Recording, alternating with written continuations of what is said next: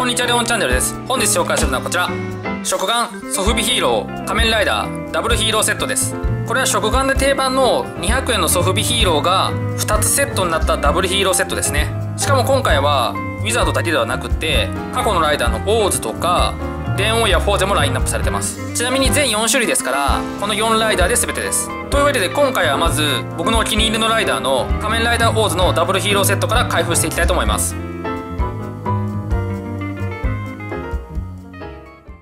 外箱がなんかいつものツルツルの感じと違ってすごい高級感あるんですよねそして表側にはタトバコンボとアンクのグリード状態ですねそして裏側には2人のセリフが書いてありますエイジのこのセリフはもう1話から言ってましたからね。アンクの方はアイスをよこせだそうです。まあこれもよく言ってましたね。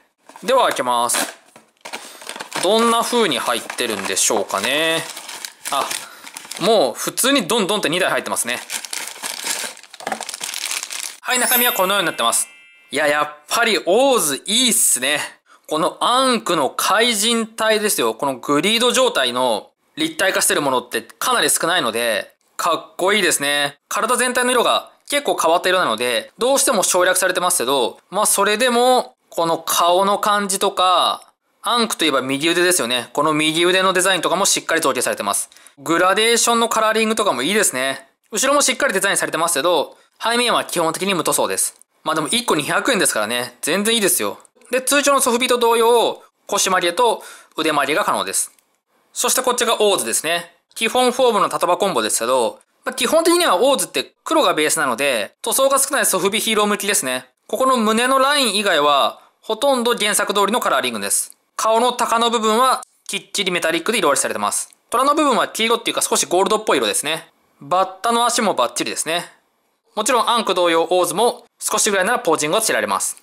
まあ、サイズ云々は置いといて、400円で映司とアンクが揃うのは、オーズ好きとしては相当嬉しいですね。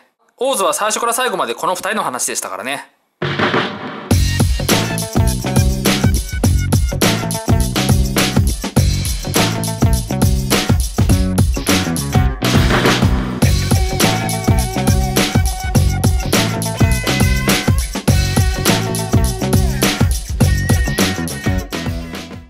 以上、食玩仮面ライダーダブルヒーローセット仮面ライダーオーズとアンクグリードの紹介でした。